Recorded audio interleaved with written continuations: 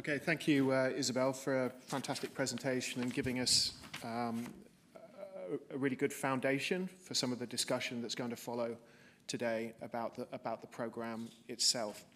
So next on, uh, we have uh, Professor Ron Corstanje, who's a professor of data sciences at Cranfield um, and also head of the Cranfield Environment Center.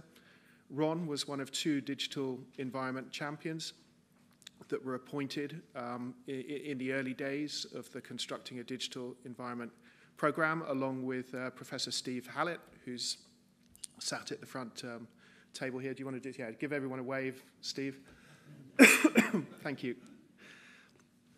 Um, so, so really the intention of, of this session, as you can see from the, from the title, is, is just to walk you through some of the, the activities, um, some of the, the, the funded um, investments, um, demonstrators, feasibility studies that have been undertaken during the course of the program, but also importantly some of the community engagement that has been um, undertaken in parallel uh, as well. So, so Ron's, Ron's going to walk you through some of those things, and, and towards the end of this presentation, uh, I'll be uh, reflecting on the wider impact and legacy of, of CDE. So, Ron.